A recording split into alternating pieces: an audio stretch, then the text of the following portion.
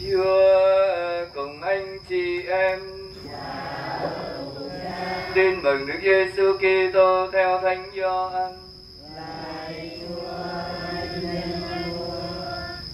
Khi ấy Chúa Giêsu hỏi ông Simon Phêrô rằng: "Này anh Simon con ông Gioan, anh có mến thầy hơn những anh em này không?" Ông đáp: "Thưa thầy có, thầy biết con yêu mến thầy." Đức Giêsu nói với ông: "Hãy chăm sóc chiên con của thầy." Người lại hỏi, này anh Simon, con ông Gioan, anh có mến thầy không? Ông đáp, thưa thầy có, thầy biết con yêu mến thầy. Người nói, hãy chăn dắt đoàn chiên của thầy.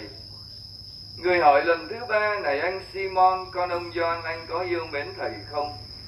Phêrô buồn vì người hỏi tới ba lần, anh có yêu mến thầy không? Ông đáp, thưa thầy, thầy biết rõ mọi sự, thầy biết con yêu mến thầy. Đức Giêsu bảo ông, hãy chăm sóc chiên của thầy Thật thầy bảo thật cho anh biết lúc còn trẻ anh tự thắt lưng lấy và đi đâu tùy ý. Nhưng khi về nhà anh phải rang tay ra cho người khác thắt lưng và dẫn anh đến nơi anh chẳng muốn. Người nói như vậy có ý ám chỉ ông sẽ phải chết cách nào để tôn vinh Thiên Chúa. Thế rồi người bảo ông, hãy theo thầy. Đó là lời Chúa.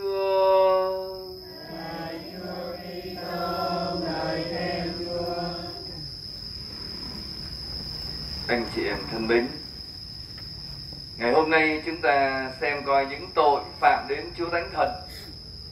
Đó là những tội nào?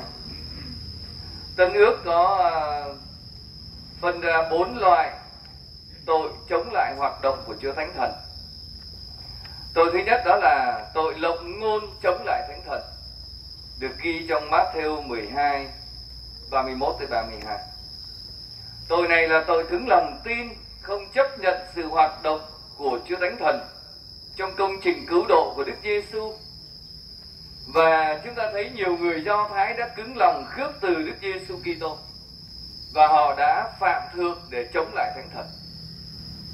Họ uh, nói với uh, Chúa Giêsu khi mà ngài uh, chữa trừ quỷ thì ngài họ nói rằng Chúa Giêsu đã dùng tướng quỷ Beelzebub để trừ quỷ. Họ không tin là ngón tay Thiên Chúa đang hoạt động ở giữa họ. Và trong suốt hành trình loan báo tin mừng của Phaolô trong ờ, ba cuộc hành trình mà tôi có dịp nói với ông bà anh chị em và chúng ta đang ở trong hành trình cuối cùng của Phaolô khi ngài sẽ bị, bị giải về Roma để từ đạo ở đó cùng với Phêrô chúng ta thấy trong hành trình của ngài đi những người do thái tìm đủ mọi cách để bắt hại phaolô họ không tin điều mà phaolô rao giảng. Một ông giêsu nào đó đã chết và sống lại. Mà ngày hôm nay cái ông uh, uh, thống đốc ông ấy uh, coi ở cái uh, vùng này ông ấy mới thay thôi. Ông có thay cái ông uh, Felix ông ấy kể lại cho hoàng đế khi uh, hoàng đế tới thăm ông Festo bởi vì ông là người bạn thân. Và chắc có lẽ hoàng đế ờ, Roma cũng đi thăm những người mình mới bổ nhiệm. Cho nên đưa cái chuyện của Phaolô ra nói chuyện với uh, vị hoàng đế này. Nhưng mà cuối cùng thì mấy ông ấy kết luận rằng chỉ tranh luận về một cái điều nào đó về tôn giáo nghĩa là những người do thái chống đối thánh thần hiện diện của thánh thần và cũng không tin sự sống lại của Đức Giêsu Kitô. Và theo giáo lý chúng ta biết rằng là sự sống lại của Chúa Giêsu đã là do thánh thần tác động để Đức Giêsu Kitô sống lại.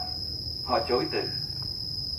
Tội uh, thứ hai trong uh, kinh thánh chúng ta thấy thánh Phaolô đã nói với uh, cộng đoàn Thessalonica ở uh, thư thứ nhất ngài gửi đừng dập tắt thánh thần thường được giải thích theo nghĩa là không tôn trọng các đặc sủng mà thánh thần đã ban để xây dựng hội thánh. Những người cai trị cộng đoàn trong hội thánh hay mắc phải uh, tội này. Cho nên trên bình diện tu đức đây là tội không nghe theo gợi ý của thánh thần hay không nghe cái sự thúc giục của thánh thần trong nội tâm. Thì chúng ta dập tắt đi cái ơn của chúa thánh thần. À, thánh thần mách bảo như chúng ta thấy uh, Phaolô không dám dập tắt ơn của thánh thần.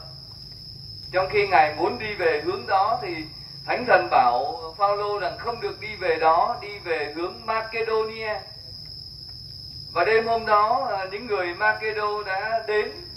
Uh, Phaolô thị kiến là họ đến để xin Phaolô đến ờ, rao giảng tin mừng cho họ.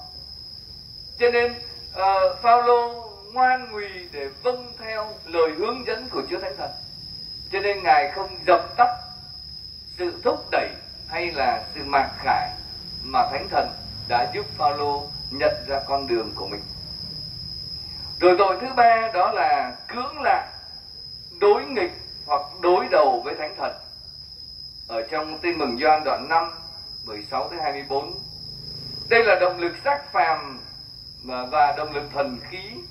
Hai động lực này không thể đi đôi với nhau và hoàn toàn đối nghịch nhau. Hoạt động của xác phàm thì dẫn tới sự chết chỉ có hoạt động của thần khí mới đưa tới sự sống. Đối đầu với thánh thần nghĩa là chúng ta chiều theo khuynh hướng xấu hành vi xấu là phạm tội. Đó là chúng ta đối đầu với thánh thần. Chúng ta thấy uh, hoa của của thánh thần là bình an hoan lạc. Uh, hôm qua hôm kia tôi đã nói tới hoa quả đấy. Những ai không có bình an không có hoan lạc những ai còn giữ trong mình sự hận thù, sự buồn phiền, như đức cha hoàng francisco nói, cái khuôn mặt của đám ma, đưa đám, thì người đó không có thánh thần. Người đó đã đang đối đầu với thánh thần. Và tội thứ tư đó là không có làm phiền lòng thánh thần.